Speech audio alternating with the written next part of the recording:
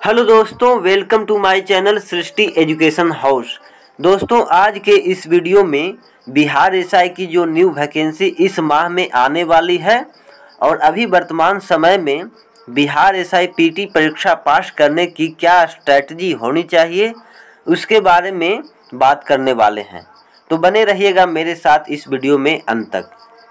दोस्तों, अभी की जो स्थिति पैदा हो रही है उसके अनुसार हर एक स्टूडेंट के माइंड में सिर्फ़ और सिर्फ़ एक ही सवाल उठ रहा है कि आखिर बिहार एसआई की जो वैकेंसी है, वो कब तक आएगी? तो दोस्तों, आप लोग बिहार एसआई की वैकेंसी कब तक आएगी, उसके बारे में चिंता करना छोड़ दीजिए, क्योंकि इस माह के अंत तक बिहार एसआई की 2500 प्लस वैकेंसी देखने को मिल सकती है। हाँ दोस्तों 2500 प्लस वैकेंसी इस माह में बिल्कुल आप लोग 100 परसेंट श्योर रहिए कि आ ही जाएगी। दोस्तों, अब हम लोग दूसरे जोन बिहार एसआई की तैयारी की रणनीति क्या होनी चाहिए, उसे देखते हैं।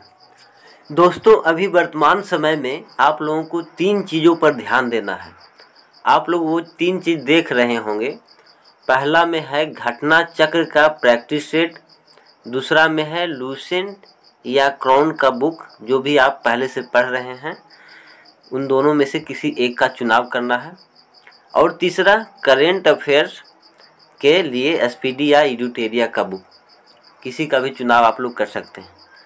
दोस्तों, ये ये तीन चीज़ ही सिर्फ़ आप लोगों को करना है और यही तीन चीज़ आप लोगों को पीटी एग्ज़ाम पास करा सकता है।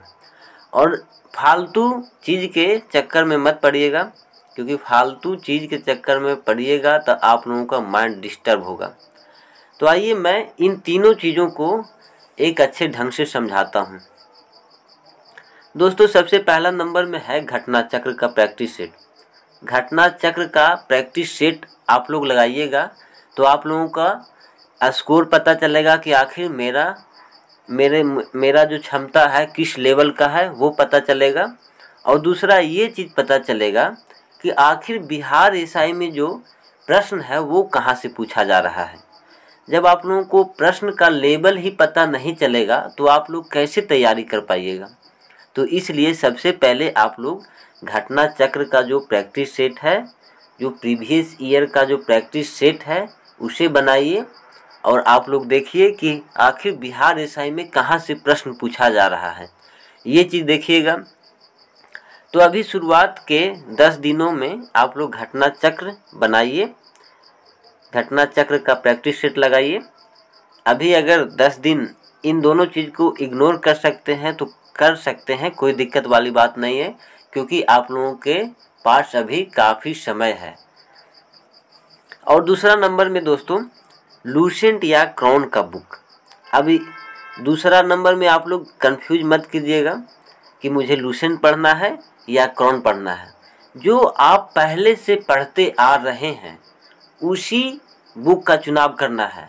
ऐसा नहीं है कि नया बुक आप लोग क्राउन पढ़ने लगिएगा या क्राउन पहले से पढ़ रहे हैं तो अब लूसेंट का चुनाव कीजिएगा। तो वो बिल्कुल गलत बात है, क्योंकि अगर आप लोग लूसेंट पहले से पढ़ रहे हैं तो उसमें आप लोगों को काफ़ी ज़्यादा अनुभव हो चुका है कि कौन सा चीज़ें कहाँ पे लूसेंट का बुक में है। तो आप लोग अगर लूसेंट पढ़ रहे हैं तो लूसेंट का चुनाव कीजिए। क्रॉन पढ़ रहे हैं तो क्रॉन का चुनाव कीजिए। और इस एक बुक को आप लोग पाँच बार छः बार, जितना बार हो सके सात बार पढ़ लीजिए। कहावत है दोस्तों कि सात बुक को सात बार पढ़ने से बेहतर है कि एक ही बुक को सात बार पढ़ा जाए। वो ज़्यादा बेनिफिट होता है। तो आप लोग हर एक बुक को नहीं पढ़िएगा, एक बुक का चुनाव कर लीजिए उसी को एक अच्छे ढंग से एकदम पढ़ लीजिए कि उससे अगर प्रश्न पूछा जाए तो एक भी प्रश्न नहीं छूटना चाहिए। तो ये चीज़ आप लोग कर लीजिएगा। और तीसरा नंबर ये है कि करेंट अफेयर्स।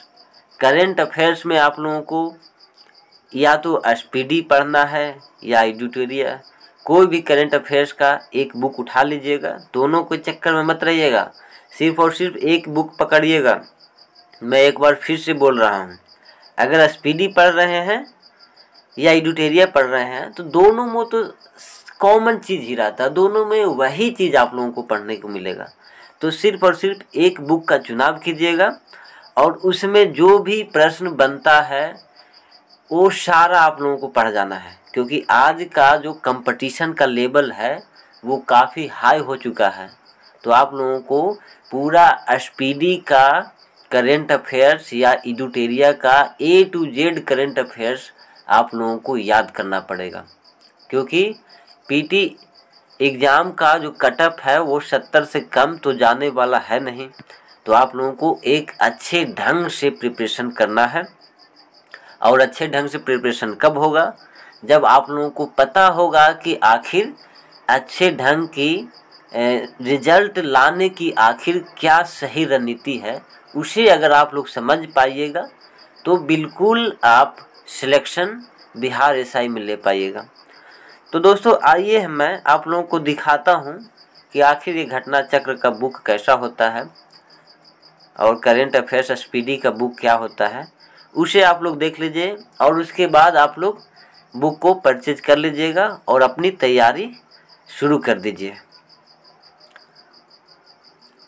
दोस्तों, ये देखिए ये देखिए घटना चक्र का आप लोगों का ये बुक है। इसका आप लोग प्रैक्टिस सेट लगाइए।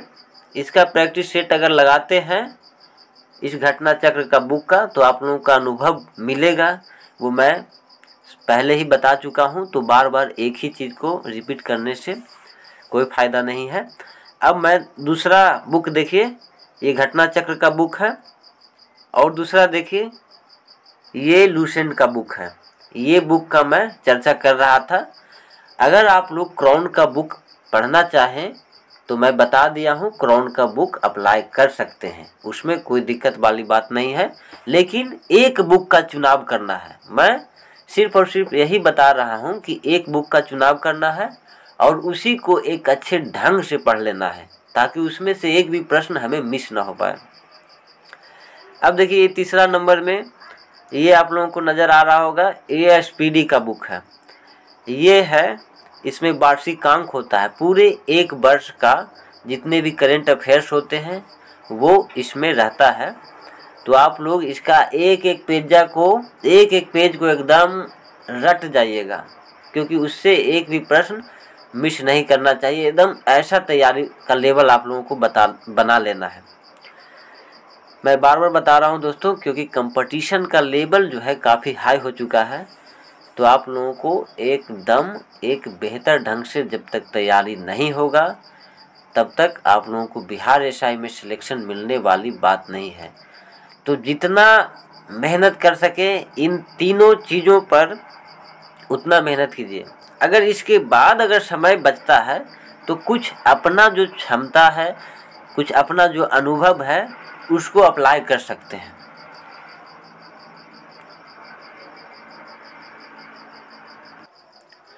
दोस्तों, आज के वीडियो बस यहीं तक। आप लोगों को यह वीडियो कैसा लगा, कमेंट बॉक्स में लिखकर ज़रूर बताइएगा। और जो भी दोस्त इस चैनल पर नए होंगे, वो चैनल को सब्सक्राइब कर लेंगे और वीडियो को ज़्यादा से ज़्यादा शेयर कीजिएगा। चलिए मिलते हैं हम लोग नेक्स्ट वीडियो में। धन्यवाद।